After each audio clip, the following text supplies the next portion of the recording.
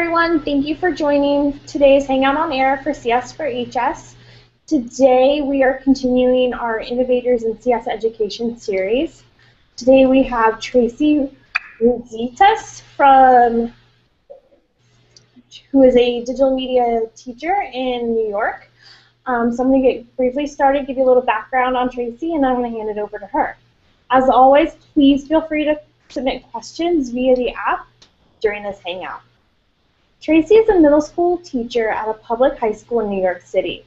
She teaches digital media classes to 6th and 7th graders, a computer science programming elective to 6th, 7th, and 8th graders, and opens her classroom up, classroom up every day at lunch for drop-in makerspace. Tracy also has a robotics club that meets after school once a week during the school year. In her digital media classes, the students explore a range of digital media concepts and the ideas are exposed to many tools and materials to assist in this exploration.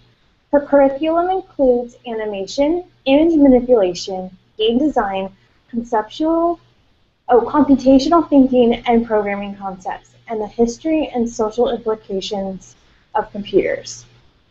In the programming elective students, they have been immersed in learning and processing. Students are also learning Python and using App Inventor to create mobile computing applications.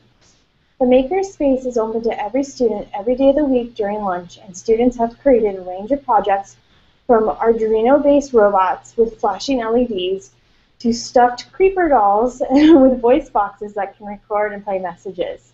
Just recently, the addition of a 3D printer has taken the students' imaginations and project possibilities to a whole nother level. Tracy was hired by the New York City Department of Education last spring as a curriculum developer for the city's software engineering pilot program that was introduced this past September in 20 city schools. Tracy was selected as a 2014 FabLearn Fellow through the Transformative Learning Technologies Lab at Stanford University. This cohort is tasked with designing and writing open source curriculum for Makerspace and Fab Labs all over the world, and in collecting the data to inform other research and collecting the data to inform research about the maker's culture and the digital fabrication in education. Tracy has always had an intense interest in making things and is passionate about sharing this enthusiasm for making and inventing with her students and only wishes that there were more of her time that she could give to do all this cool stuff. So Tracy, it's a pleasure to have you here. I'm looking forward to what you're going to show us today. Okay. So, um, here I am. uh, I have, uh, as it noted in my bio, I kind of do a number of different things here at the school I teach at. It's a public school and it's middle school kids, and I feel really fortunate to be able to share all this kind of really neat stuff with them. Um, I'm going to start out with uh, talking a little bit about um, kind of where my teaching practice um, is, what it's informed by, and then I'm also going to show a lot of examples of student work, of kind of my approaches, and I have a lot of visuals of um, the actual student work itself. Um, feel free, like I said, to ask questions and definitely I'll get to the questions at the end, but if there's certain things that are relevant, um, hopefully I can answer those in between also. So I'm going to start here by uh, getting my screen here, and of course, I there we go. I practiced this, but hey, um, let me go to my drive. Where is it? I had it all set. Ah, uh, oh, I guess it's here. Okay, I see what's happening. Sorry about that. Okay, view and present and can you see, is that showing up or? Not yet. Not yet. Okay, just a sec. Let me, shoot, I should have practiced this part too. It's okay. Let me, because uh, I think what's happening is it's on the same, uh, let's do this. Uh, okay, share screen, share screen. Uh-oh. Why is that not working? Okay, I'm sharing the screen, and now I need to go to the screen. Uh, oh, ay, ay. This is no good. Is that showing at all? Not yet, Tracy. Ay, ay, ay. This is no good. It's, uh, why is it not share? So if you go to screen share, it should give you the option and it should do like a pop-out box. And Yeah, I'm trying to do that and it's not popping anything out. Shoot. Ay, ay, ay. Let me, let me do something else. Okay, so I'm not, I don't want that. I want share screen. Oh, I just, I I see that. It says share screen Mhm. and I'm not seeing, it had, before I had like a, uh, a bunch of stuff up. If you click on, are you clicking on share screen or are you just Yeah. hovering over it? No, I'm clicking on it. Nothing's happening. I had I had it come up, and now it's not coming up anymore. Oh my goodness. It's okay. Do you want to maybe, do you want to ping it to me in this Hangout and then I can maybe share it for you? Okay. Uh. Let me um, share it with you right here. Through Drive? Oh. Yeah, it's on my drive. Okay, let me go to my Drive and then we'll get it going. Oh my goodness. Ay, ay, ay. I know, but I, I had it all. Shoot. Just a sec. This is a pain. Um, okay, just let me do this. Oh gosh. Um, what if? Go to. Let me go to my Google Drive and see if I can get get it this way. I just. No, that's not. I had it. Can I log out and log back in? I mean, it just. It's. It's like my f- computer's frozen here. Yeah, you can log, absolutely log out and log back in and then just rejoin this Hangout.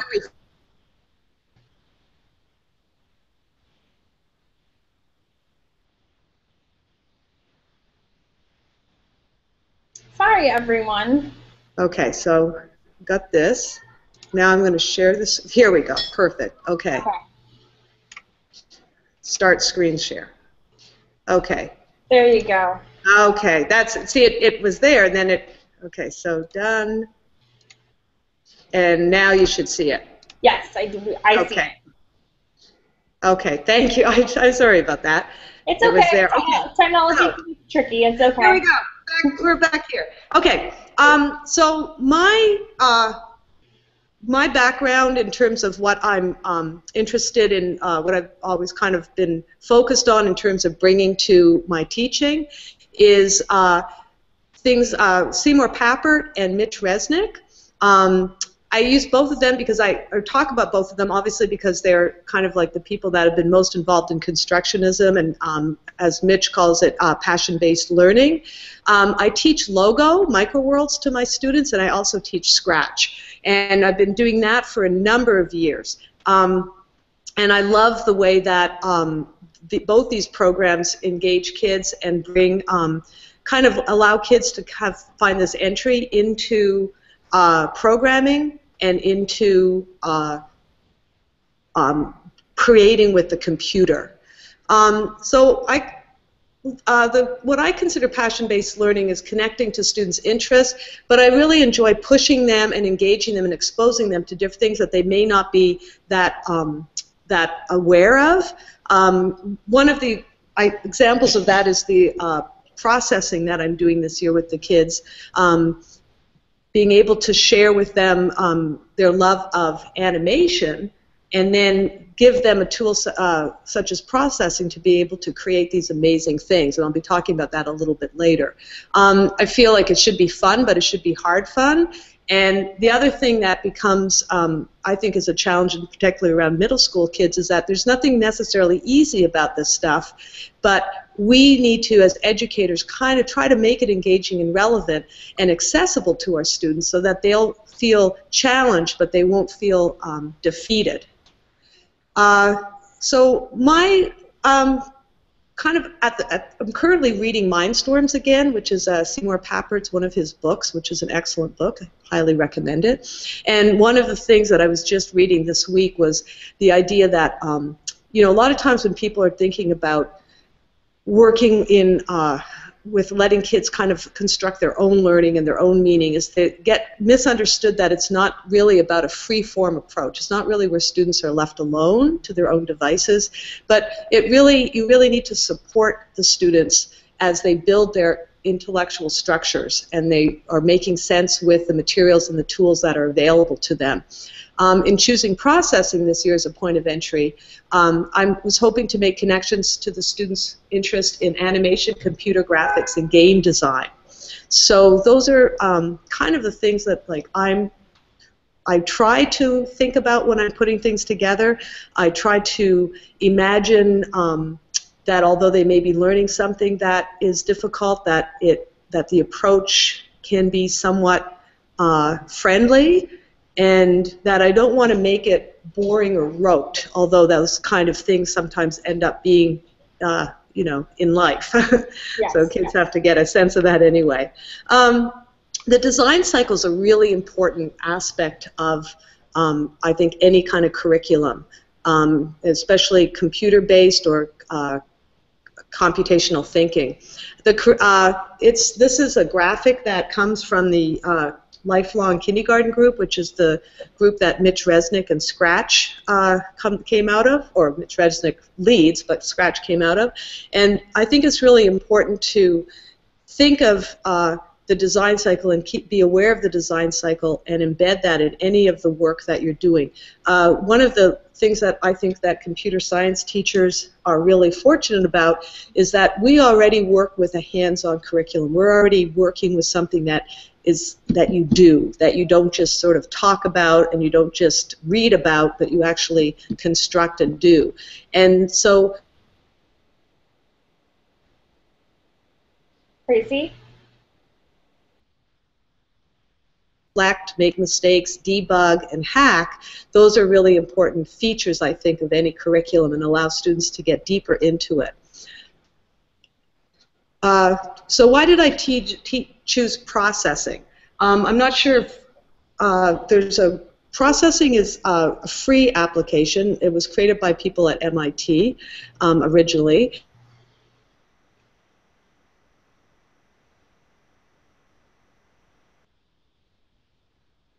things in and they run the program and they get some visual graphics. And it can capture their imagination. It can make things really uh, interesting, just a click of the mouse, and they can be drawing these interesting um, visuals with different colors and things like that. So they have sort of an immediate way of getting it being engaged. And then, of course, we work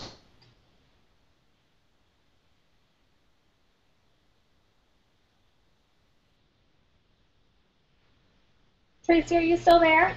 Yep. Okay, it's cutting. It seems like the um, Wi-Fi is cutting it a little bit out. Oh. Okay. okay. Did, okay. So, okay. Do you see me? Is it that okay? Yeah. No. No. No. It's totally fine. It's just sometimes your voice drops. Okay. It's that's probably just me. I, okay. Okay. So approaches to lesson design. So I really think it's important to have a structured but not rigid uh, approach. Um, I don't want all the students doing the same thing, and I think it's boring for me if I see all the same thing.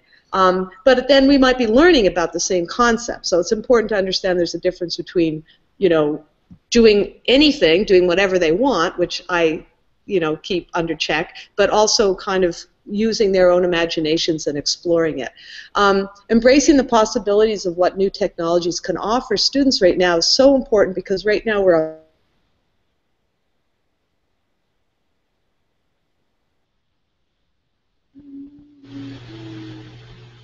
really interested, and the students are really interested in making connections with physical computing. When I say physical computing, uh, we have Arduinos, we have a lot of different microprocessing boards, we have physical uh, robots and different types of robots, and I think that there's so much out there, and there's so many ways to make those connections, and of course they all need to be programmed. So there's all sorts of different languages that you can use with the with the students. So multiple approaches, multiple solutions, I think is such a really um, important thing to to to work with.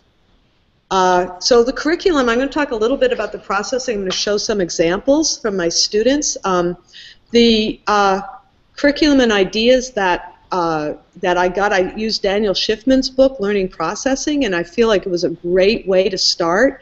Um, it's an excellent uh, introduction book, but it's also I feel like the what how he approaches the the ideas of processing really made sense for my, I mean, we're talking about 11, 11 year olds and 12 year olds and 13 year olds, and they were really getting it.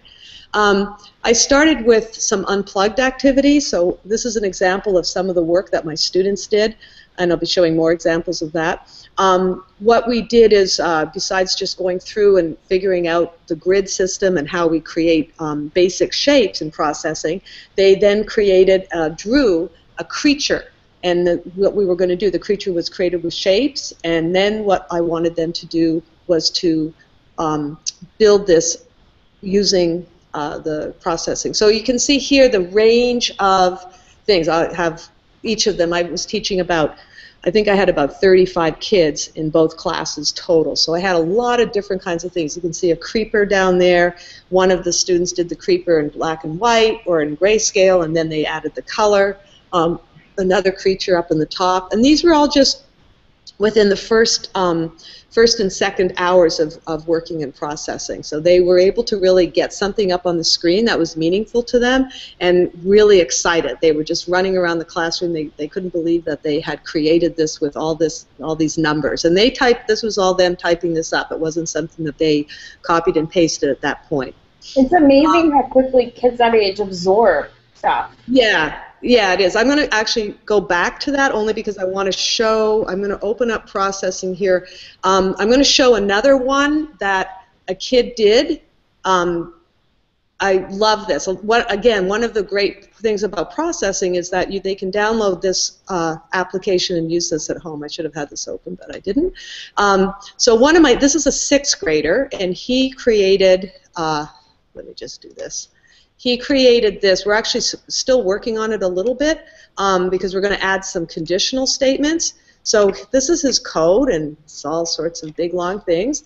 And so we're going to run this and know what he did. And we, what we did is we started adding the interactivity. So the things I showed you first on that screen were the um, where before we started talking about how we can add mouse event or event interactivity and in particular mouse events. So on this one is using the mouse X and mouse Y and it's taking a while to load because here we go.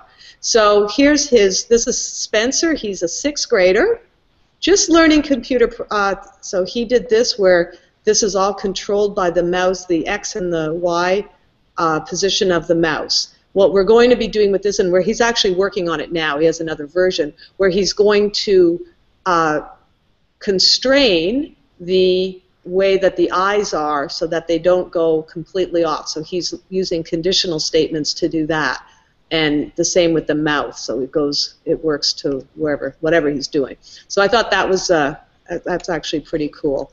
Um, I'm going to show another one here. Uh, this is, let's see here. Uh, okay. Let me do this one here. This is, I'm not quite sure, I think this might be another uh, one that's not interactive, but this is one that someone did yesterday. And they just, this was just done, like I said, in, um, okay, so this is another little creature. Um, you know, figuring out this little unicorn, this is going to be a unicorn, it's got his little horn up here. But these are the kind of things that are, um, you know, it's not easy to get that little guy right up there in the right place and these little eyes in the right place. And so it's a lot of really cool things that are kind of happening, I feel like, when they're working with this. And I'm going to show another, just one more here. This is another, this is an eighth grader. And uh, I'm hoping that it's the right, which one is it? No problem. And for those users that joined late, you're using the program processing Okay, so let's see if this is the one. They, they all handed them in to me yesterday. They were working on them. Uh, I'm pretty sure this is the one. This guy, uh, Brave is one of my eighth grade students. Oh, actually, this is Mateo's. Okay. Okay, so we play, and I'm not quite sure what I need to be doing here because I, but as you can see, he's got some, uh, some images he's put, and he's got a timer going, and he's got some, uh, you know, contact and obviously some if statements. So there's like a really a lot of different things that he's come up with. He wrote all this stuff, and he figured it out, and he's working. Uh, a lot of times the um, kids have done a lot of stuff in Scratch before. So these are specifically kids that have done a lot of the gravity things in Scratch and they figured things out that way. So it's kind of neat to see them bring the, that those concepts over and then kind of try to work them out in this way. Um, which is obviously a lot different from just the block-based stuff, but it has the same concepts behind it. Um, so okay, so that's uh, that's that. Let's go to um, I'm going to move on to, I'm just going to put this into present. So another thing that's been really great is I've been, uh, let's go to here, is that um, I have a Raspberry Pi, oops, went too fast, a Raspberry Pi that I brought in for my students, and we finally got it up and running. Um, it just, it wasn't that it took a, was hard, it was just more in terms of time. Um, and we are now working in with Python. So there is a Ras. I got the curriculum and the inf- or the information from someone in the UK that has uh, put together um, using the Raspberry, the Python, um, sorry, the Raspberry Pi Minecraft for Raspberry Pi, getting it backwards, and you can use Python to control it, to build your blocks, to create your uh, work, etc. So I've got a few kids that you can see here. They're opening the Python shell. They're down in this area here. Um, I don't know that they've typed anything up yet, but basically what they're doing is there's there's ways that you can get into the when working with the API and using Python, and they're really enjoying that. And um, just started it, but they keep coming into the lab and they want to be in here all the time doing it. And it's kind of neat to watch them. Another thing I really love about this is that. Um, these are again middle school kids who you know you've got another kid walking down the hallway and they're kind of like whoa that's kind of neat. What are you doing in there? You're playing a game. And then they're like yeah we're playing a game but we're also programming it using like command line and things like that. So it's kind of neat kind of neat stuff. Um, i actually asked some of my students uh, this afternoon what they thought about that if they could they had any thoughts. And they they said that they found it easier to have something that they are familiar with or have an interest in as a starting point. Um, I think that um, anyone might agree that Python, although it might be a, uh, not a particularly difficult language, that it can be uh, not as interesting possibly to a middle school kid if you're just doing, and it, that doesn't mean that there's that some middle school kids would certainly be interested in it, but that there's a way to engage it when again there's this visual or this sort of um, uh, uh, immediate kind of something that happens when they do it. And sometimes you can do that in Python, certainly with um, images, and you can do it with numbers and math and things like that. But this is just another way to approach it. And um, students are so motivated motivated to find the solutions and solve problems when they have those personal connections. I they don't usually ask me to come over when they're trying to figure stuff out for this kind of stuff, and, and I'm perfectly happy with that. Um, and so it's kind of a nice thing because a lot of this, a lot of students these days are more than happy to raise their hand and ask for help when they really don't need it. so right. it's kind of nice to see that happening. Uh, okay, so I'm going to switch gears here a little bit. Um, I do a makerspace. Uh, a year ago, I decided that I wanted to have a makerspace in my classroom. Uh, don't have any time in the school day, so I thought, well, when can I do it? At lunch. So what can I do? I can bring in a bunch of my stuff from my house because I have a bunch of junk at home. and so I brought in some real basic things, and we started from there. I have since gotten some grants. I've gone through Donors Choose, and we've uh, really um, been able to beef up our our uh, stuff, our, our supplies. Um, but we have a lot of really basic things. Um, some of the Jitterbug, the picture that's on the screen right now is a Jitterbug robot. Really fun to make, really easy, but um, really, again, teach the kids a lot about circuitry, about electronics. They solder. They don't have to solder for this, but they do. Um, we've been doing Arduino robots. I'm going to show a pretty intense one after that one of my students has been working on since um, the fall. Squishy circuits is a great way to get involved in some of this stuff. It's really easy and you can light up LEDs and um, put stick wires in there. 3D modeling, I'm really fortunate to have gotten some funding for a 3D printer and the kids have been off and running in terms of um, designing and creating their, their own uh, work Uh, we're doing things that attach to robots. We're building robots. We're creating Lego and Mindstorm robots that have 3D printed wheels and, and servos and all sorts of fun things. We're doing a lot of e-textiles, so we're um, the kids are being able are sewing up things and then adding lights and batteries and switches. Uh, we made some glow bottles, which is something I found this instructable, and a bunch of friends and I we did these where they can actually use LEDs and um, uh, soldered wires and things, and you use it in a an empty um, bottle. And what you can do is you can go into a dark room, uh, click on the uh, the bottle lights the LED, and then you can draw with it in a dark room. So that's kind of pretty cool. Um, and we did a crystal radio. And the cool thing about the crystal radio is that one of uh, my students uh, 3D printed the container. The instructions we had for the crystal radio let you use a, uh, or I told you to use a toilet paper tube. But so what he did is he created our own uh, tube. He even put the words computer school on it, which is the, the name of our school, and then uh, we printed that out. So our crystal radio has is uh, really pretty nice. Um, I have a number of different types of robots. I love being able to um, allow kids to see, to sort of choose and, and, and invent with what they are interested in. Um, this is one of my uh, uh, one of my students, Olivia. She uh, used a Hummingbird uh, microprocessor that you can see in the back, and what she did is she created everything else. You can't see it in this picture, but the, um, the there's this is a platform that this that this uh, the cupcake is mounted on. These are just things that she created out of um, uh, uh, fabric, LEDs, you can see, pipe cleaners, and uh, cardboard and, and she needed to have some sort of hinge or way to mount the cupcake. So what we did is she went into Tinkercad and she designed a small little hinge. We printed it out, and it's not. I don't have a picture of that one, but that's how the how it's. And she hot glue gunned that, and it was perfect. Um, and then she programmed this to do different things, of course. Um, this is uh, to move back to the cupcake robot, you can use um, a number of different things to program it. We use Snap, but I also have some kids that are working with the Finch robot. This is a Finch robot here, and they are using the Raspberry Pi and Java to start doing it, so they're kind of working on that. So work in progress. And these particular ones we use Snap, which is a block-based program like Scratch.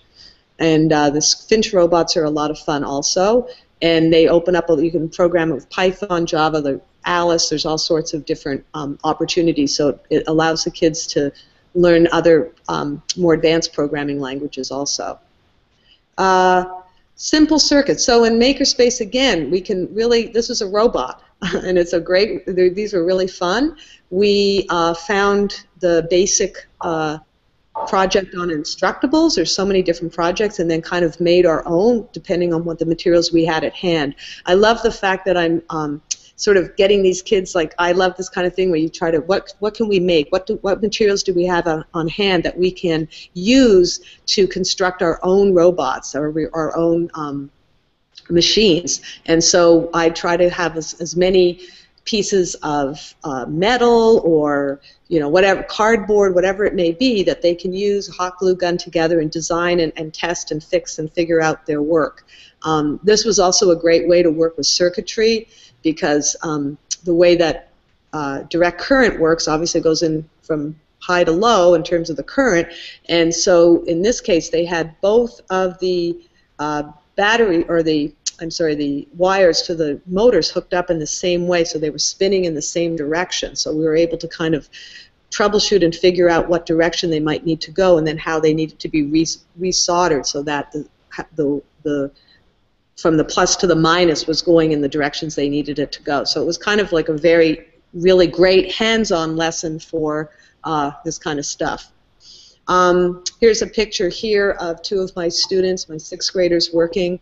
Uh, as I said, kids have an amazing capacity for doing incredible things. Um, they really do, and as teachers, we really need to remember to give them that opportunity because when some other teachers walk by and see the stuff they're doing, it's like, wow, really?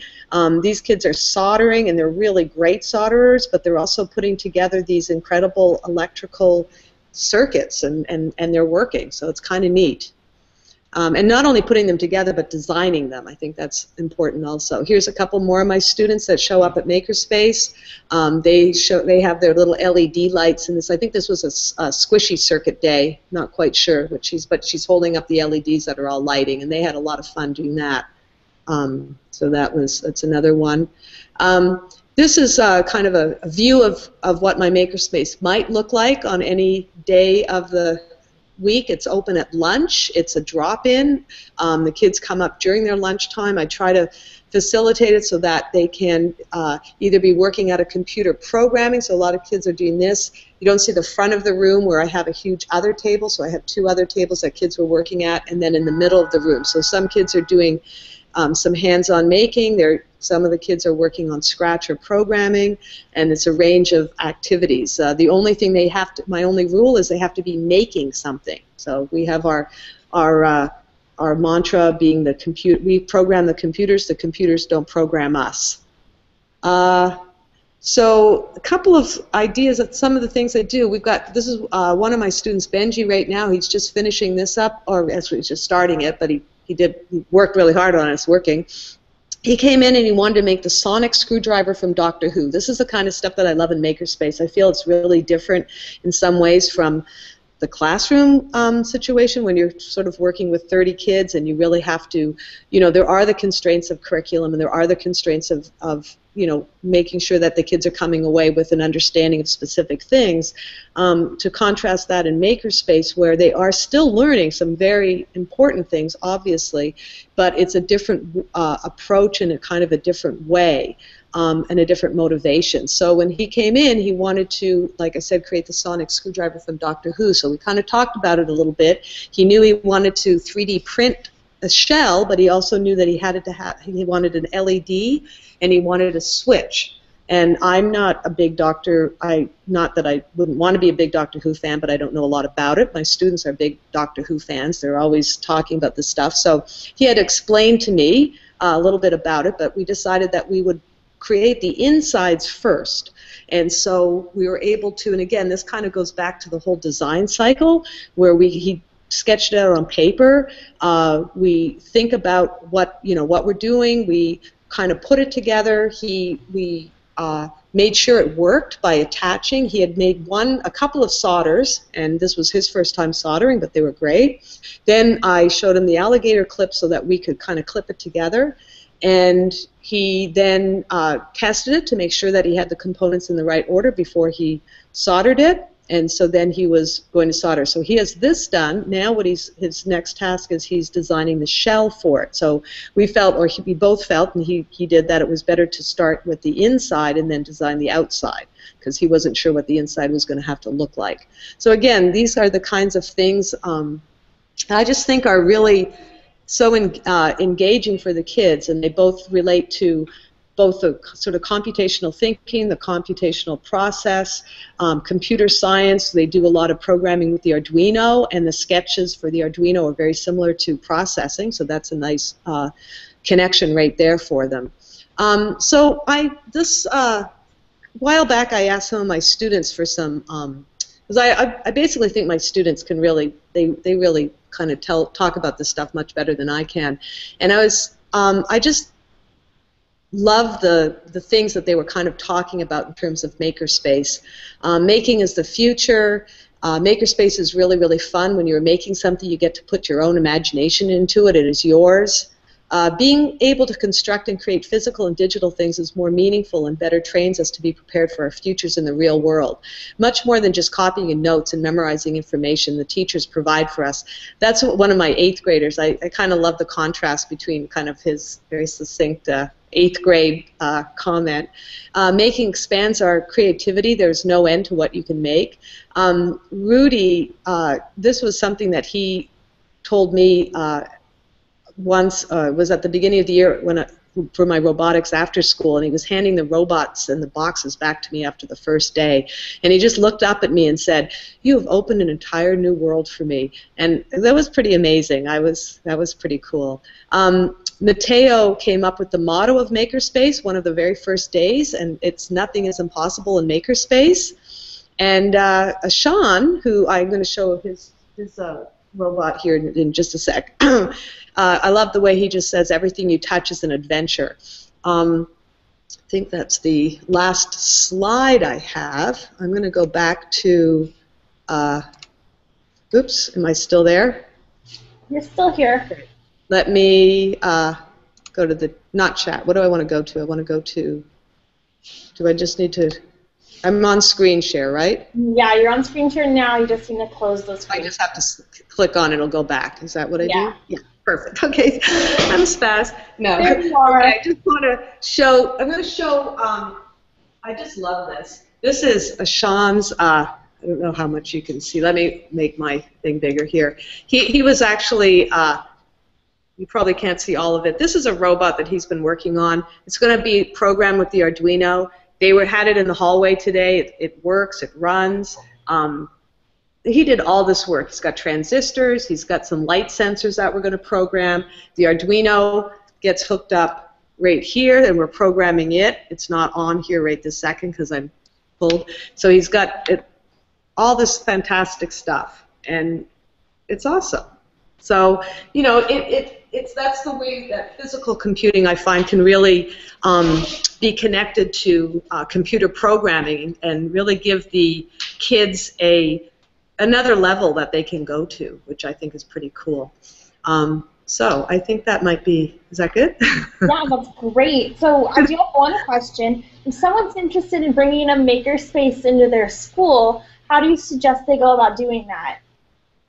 Um, okay, so that's a great question, and and I the way I did it, like I said, I said, you know what, I want to do this. I really want to do it, and so I did. I was fortunate enough that I'm in a situation where I don't want to say no one pays attention. Of course they do, but I I could just kind of do it. I brought my own stuff in. I did do a donors choose, and I, I'm, I donors choose is an excellent way to get supplies.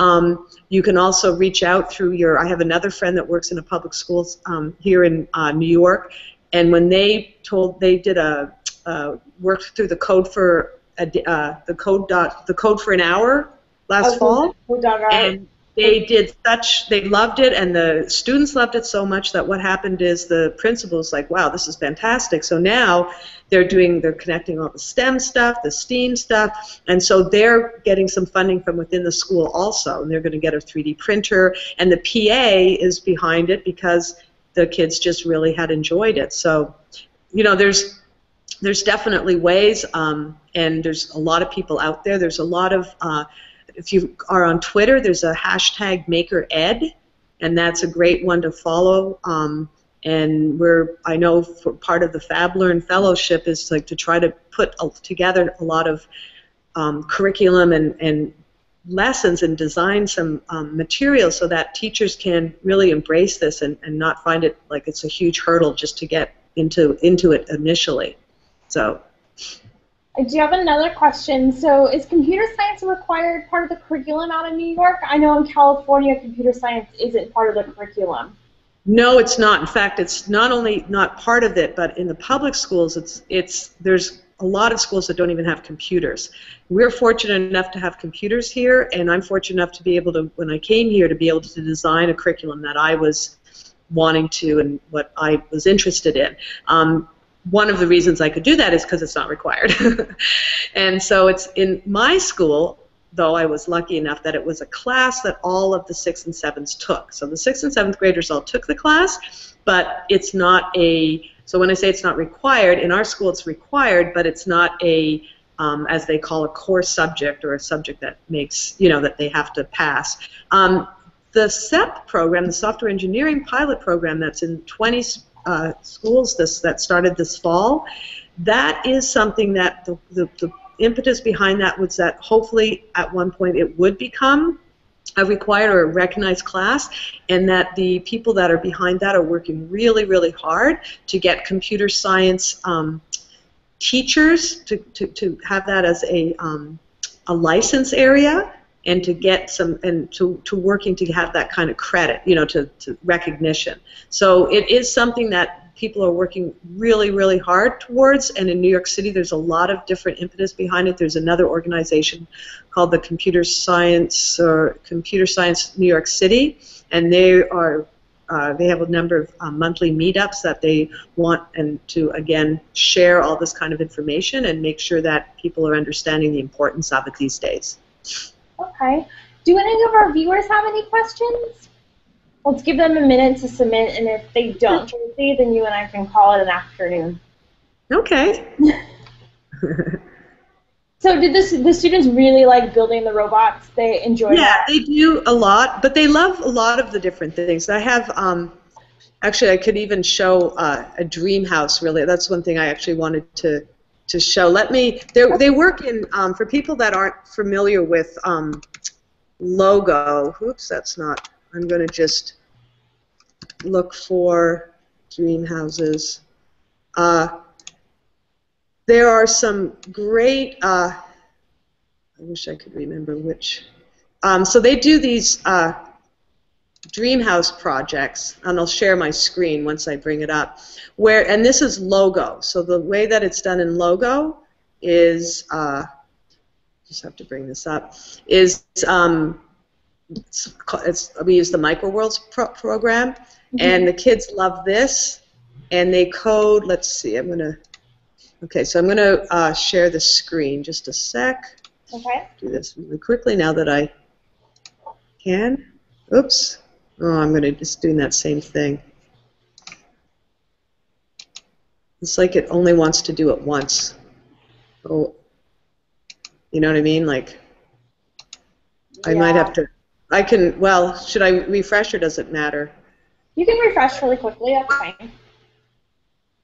She's just going to show us something in, that one of our students designed, and if you guys have any questions, please feel free to submit. We only have a few minutes left with Tracy today. Okay. Hi. Okay, let me do that. Okay, so I'm going to do this, start screen share. So let's do that. Come on.